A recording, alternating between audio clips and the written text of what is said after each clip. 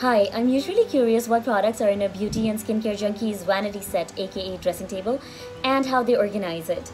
Are you the same way as well? So in this video, I'm going to show you what's in my drawers in my dressing table. I'm going to show the products I currently use for my skin. I'm going to show what's in my makeup drawers for someone who's a beginner and a minimalist like me, if I can call myself that. I'm going to talk about how I organize my drawers and more details on why I use the products I use and which one I like better. This is a short and quick video but hopefully filled with a lot of useful information for you. All the links will be given in the description box below so check that out and here we go.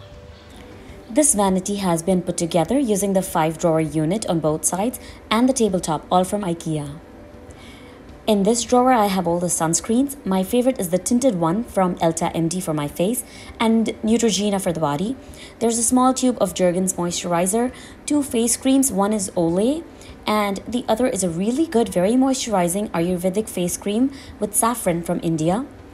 There's also a Neutrogena gel cream with hyaluronic acid for dry skin for my face, Gold Bond body cream for my rough and bumpy skin, jars of Cetaphil body creams for my very dry skin.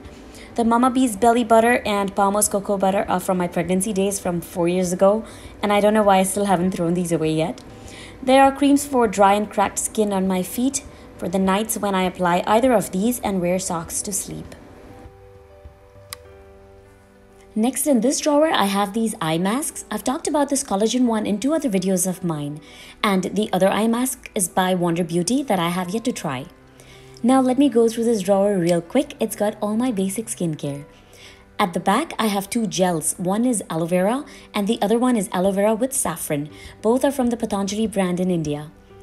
There's this vitamin C gritty serum by The Ordinary.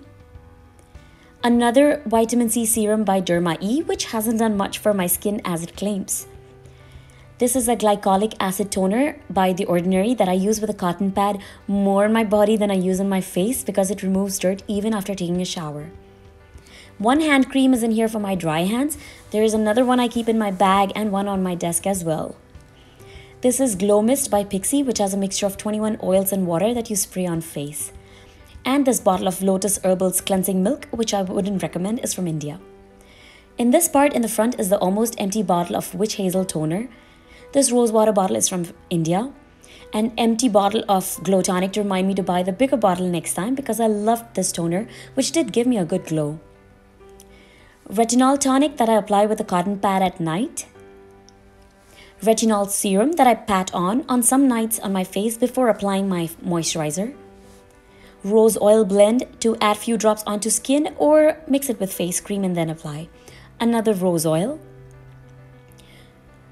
just got the sample recently of a night cream, so I'm trying a little bit of it every night. So here are all the eye creams that I have from CeraVe, ROC, Biossance, the Dark Circle Eye Treatment and Spot Treatment products from Origins. So I organize my drawer in uh, sections. For example, here are all the eye creams and in this section is the are the oils, the toners, and then there are some samples of gels and day creams and night creams and uh, sleeping masks and all the other small size products that I have received in the various monthly beauty box subscriptions a few months ago. You can see my um, video for more info. This is another vitamin C serum I have been trying out since over a month. Here are tubes of Boroline, which is an antiseptic cream for, from India that you can use anywhere and everywhere on skin to heal. Then my lip balms, currently Vaseline and Burt's Bees, are here in this section. Next, in the bottom drawer, here are the nail polish removers. First, this Target brand one is almost finished and I don't recommend this one at all. But the Cutex nail paint remover is so much better on the nails. I also keep some paper napkins and paper towels and I need to restock more of these here because I use them to wipe makeup brushes or to dry them after washing or just clean things around in general. Q-tips for cleaning ears and to wipe makeup blunders. Uh, cotton balls mainly for removing nail polish and cotton pads to use with toners and for removing makeup. I don't use makeup removing wipes. Then there are some nail paints and nail art stuff that I thought once upon a time I would get the time to do all this, but then I had kids. Um, and then there's nail cutter and filers in this box. I need to sort these nail paints because most of these are dried out or are empty bottles from like last five years, but I've been lazy. These uh, nail polish removers in these little boxes are perfect for travel and never leave the nails feeling dry. I think it has some sort of oil in it. You just take one of these ultra thin thingies from it and remove the nail paint even on the go. No mess whatsoever. Alright, next I'll show you what's in my makeup drawer. So this is the only makeup I have and I'm pretty sure it's very little compared to true makeup junkies. But this is why I call myself a minimalist when it comes to makeup. Everything in here is divided into sections like brushes, eyeshadows, lipsticks, powders, eye makeup, face makeup, sprays, etc. Starting from here, I have makeup sponges and makeup brushes, and the puffs that come with compact or loose powders are in here too. There are brushes for foundation, powder, blush, highlighter, eyeshadow, etc. All from different brands that I've gathered over the time, like 8 years. If you want to see a specific video on makeup brushes and tools that I have, comment to let me know. On this side, I have all my eyeshadows. One is from Sephora, couple are from Maybelline, and couple are from the Lakme brand from India. I always bought these small eyeshadow boxes until I got the bigger eyeshadow palette that you'll see in a bit by PÜR Cosmetics in my BoxyCharm box some months back and I really like it. That's when I realized how different a Maybelline eyeshadow is versus a non-drugstore brand in terms of how well a higher-end brand eyeshadow stays on eyelids for longer or blends better or has better pigmentation. Since a year now, this is the only blush I own, really. This is by NYX Cosmetics in the shade Bitten. And when I want a subtle pink, I apply blush lightly. When I want it darker, I apply more. This is a setting finishing translucent loose powder and one of the very few products from Maybelline that I like.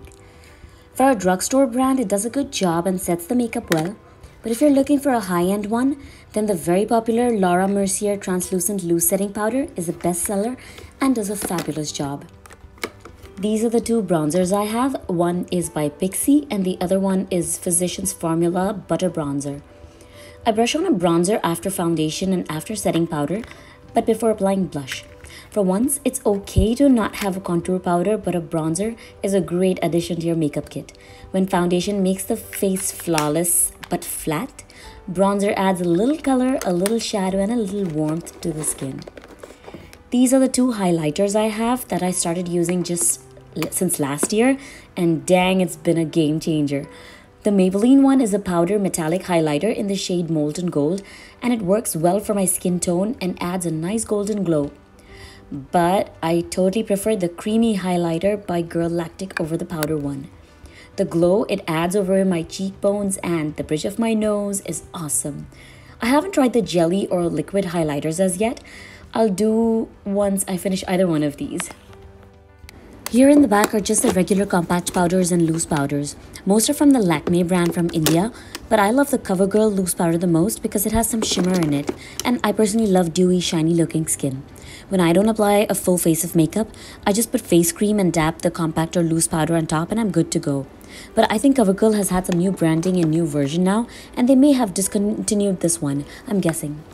In this section are all the eye products, basically color corrector, concealer, a contour, which is not supposed to be in eye products though, uh, different eyeliners, mascara, and eyebrow pencils. I'm not sure in what order I should go through them, but let's start with this LA Girl concealer for example.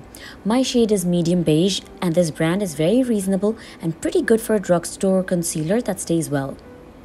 Next, although this looks like a foundation bottle, but it is a concealer by Born This Way, and it's definitely value for money for the amount of product you get and the quality. This highly popular and people's favorite NARS Radiant Creamy Concealer that I've had for a year now is almost coming to an end. This is in shade caramel and matches my skin color exactly, but I could go a shade lighter. This is e.l.f. Color Corrector and the only one I've tried so far to conceal my dark circles and dark spots before applying foundation and concealer. My skin doesn't need other color correctors like lavender to cancel out yellow tones or green to cover redness or pink blemishes. These are the only two mascaras I have. One is L'Oreal Voluminous Butterfly in black, and the other is Maybelline Great Lash in Very Black. I don't like this Maybelline Treatment Concealer. I don't know what ingredient in it irritates my skin under the eyes. So I use it on forehead, bridge of the nose, and Cupid's bow areas only. Three areas where I would be brushing a highlighter on top at the end. After debating for months whether to get powder contour kit or liquid, I finally decided on this one. These concealers by LA Girl can be used for contouring as well. I use the shade Espresso. I have two brow pencils. One is by uh, IT Cosmetics called Brow Power that I got as a sample from somewhere. And the other brow pencil by Wonderliner I had bought from a local store in Bangkok. Both have bristles on one side to brush the eyebrow and a pencil on the other side. These are liquid eyeliners by Lakme that I bought from India how should I describe it? Um, these have the liquid black eyeliner paint inside and uh, come with a very thin, tiny paintbrush that you dip in and apply.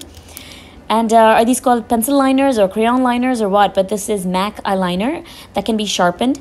And the Lakme Iconic Kajal, which I love and bring several from India, is a long-lasting smudge-proof, bold, kohl kind of eyeliner um, that can be applied on top of the eyelids as well as bottom. And this NYX eyeliner is a great drugstore dupe for the expensive but popular Kat Von D tattoo liner, for instance. This kajal from Patanjali brand in India smudges too much. I need to trash it. But I think I'm saving it for next Halloween to draw on face or something. This sharpener for MAC eyeliner that I've had for over 8 years now is also useful when I want to sharpen my kids' color pencils. I got this eyeshadow primer sample with the PÜR eyeshadow palette that I showed earlier. I haven't used this one yet, so I'm still keeping it on the side. I keep some name cards or business cards here on the side to sometimes hold the card below my eyes when I apply eyeshadow so that the fallouts don't stick onto the face after I've applied concealer and foundation. So um, I, I believe those are all the eye products I have. I haven't invested in fancy storage boxes yet, so this is how I'm keeping things in my drawer currently, such as on paper towel, in Ziploc bags, and repurposed boxes and stuff. So next I'm going to show you the only lipsticks I have in another repurposed box. Most of the lipsticks I have are from India, from the Lakme L18, Color Essence, and Lotus Herbals brands. I have one in a natural pink or nude pink color. One is in bright pink one is a maroon color lipstick, two are in plum shades. Uh, this one's from L'Oreal. Two from Bite Beauty that I had received in my Sephora Play Beauty Box subscription. I prefer the creamy lipstick in shade Rhubarb more than the matte lip crayon that's in shade Glacé. This one from Burt's Bees in a wine reddish shade probably has so many moisturizing ingredients that the lipstick spreads out of the lips. It's called lipstick bleeding into lines. I need to trash that one. I mix and match these lipsticks and apply as layers over one another on lips to create my own new lipstick shades each time. Do you apply your foundation on top of just a face moisturizer or over a primer? These are the two primers I have. The Smashbox one is definitely very smooth for foundation to glide on and is much better than the Maybelline one. I have an old primer from NYC from a few years ago and I think the packaging has changed now. It's a shiny primer and I did like it, but this one is past expiration and I'll get a new one once I run out of all primers. This hydration oil primer by NYX, I expected it to do well for my dry skin, but I don't quite like it and I can't put a finger on one exact reason. Have you noticed I mostly have two of everything? Well, here are the two foundations I'm currently using.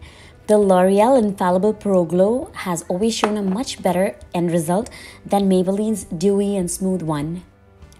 L'Oreal's Lumi Glotion, it is not a highlighter, it's not a foundation. I think it's like a mixture of both. It can be applied under foundation, mixed in foundation, or on top of foundation for a subtle warm glow. It's really nice. The two setting sprays I have are from NYX and Milani, and I prefer the dewy finish of the NYX one more. For a high-end version, the most popular one I think is Urban Decay's All Nighter, but I prefer drugstore sprays that work well anyway to help makeup stay long. Alright, next what you're gonna see must be very different from anybody's vanity set, but do you save the refreshing wet wipes that you get in the airlines or at restaurants or something? I keep them all in here to wipe my face or to clean my makeup. Next, in the back of my makeup drawer, that's a mousse foundation by Lakme I bought some time back because of its interesting whipped texture. This is a powder foundation by Bare Minerals that I shouldn't have bought. My dry skin needs liquid or creamy foundation, not powder, so I don't even use this one. Besides, it's, it's a lighter shade than my skin color. This golden glitter by MAC is all I need when I want to add glamour on my eyes or shine on my shoulders. This pot of glitter is absolute value for money. It just never seems to finish even after I've used it for so many years. This is a silver roll-on glitter by Lakme. I used to get a lot of my makeup from India earlier actually, especially all the Lakme products. These are all the foundation samples I have got from Sephora to try the different brands and in different shades before making a purchase decision. These microfiber sponges from Juno are still new. I haven't tried them yet, but I'm keeping these as backup for now because the beauty blender I'm currently already using that I showed along with the brushes earlier by Real Techniques is still going well. Alright, so that is all I have in my vanity set, my dressing table, my skincare, my makeup drawer, and I hope you enjoyed the tour. Oh boy, was that a lot of information at once? Do you have any questions? Did you like this video? What do you have in your vanity? How do you organize your drawers? Do you have anything to say? Was this video helpful in any way? Comment to let me know because how else would I know, right? If it was a lot of details in one video, go back and watch it again and if you're good at taking notes, write your notes in the comments so it can help others as well. What else? Check out the links in the description box. Remember to subscribe if you don't want to forget this channel once you leave from here.